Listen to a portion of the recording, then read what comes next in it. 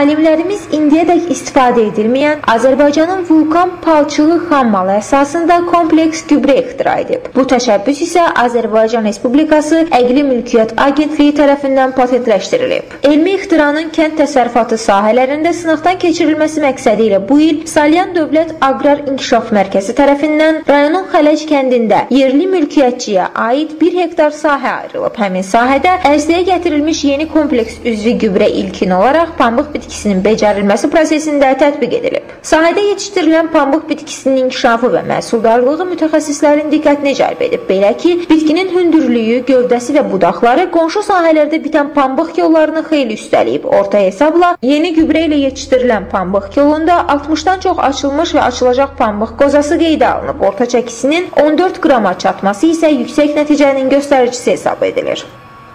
Bu il mənə belə bir kövrəni təklif elədi ki, pambığa verir. Mən də 1 hektar, 20 hektar sahədən 1 hektar sahə ayırdım. Müəllim müəllim təcrübə elədiyi kövrəni 300 kilo e, 19 sahəyə dövlət azot, fosfor, kalium verdim. Müəllim müəllim emal elədiyi kövrədən 200 kilo verdim. Bunda böyük fərq gördüm. Məsələn, halbuki baxıram, orada 30 sentrdir, burada 45 sentrə olacaq. Bunun məhsuldarlığında hektarda kolun sayı, qozanın böyüklüyü, pambığın qramı, çigidin çoxluğu, çigidin yağlığı çox gözəldir. Geologiya və Geofizika İnstitutunun baş elmi işçisi professor Mirəli Alosmanovun rəhbərliyi altında həyata keçirilən tədqiqatlarda həmin müəssisənin şöbə müdiri professor Adil Əliyev, dosent Orxan Abbasov, eləcə də Kataliz və Qeyri-üzvü Kimya İnstitutunun dosenti Zarema Cabbarova və Şahin Bağırov da iştirak ediblər. Elmlər Akademiyasının Geologiya, Geofizika, Qeyri-üzvü Kimya, Kataliz ümumiyyətlə akademiyanın gördüyü işlər göz qabağındadır.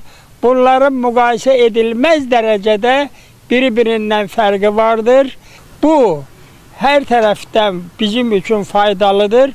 Nə ona görə ki, qeyri-neft sektorunun inkişafı, gəlişməsi üçün ən səmərəli bir tədqiqat işinin nəticəsidir. Hazırda Salyan Dövlət Aqrar İnkişaf Mərkəzi tərəfindən məhsulun yığımı həyata keçirilir. Sonrakı mərhələdə ağ qızılın kəmiyyət və keyfiyyət parametrlərinin müəyyənləşdirilməsi və alınan nəticələrin aktlaşdırılması nəzərdə tutulur.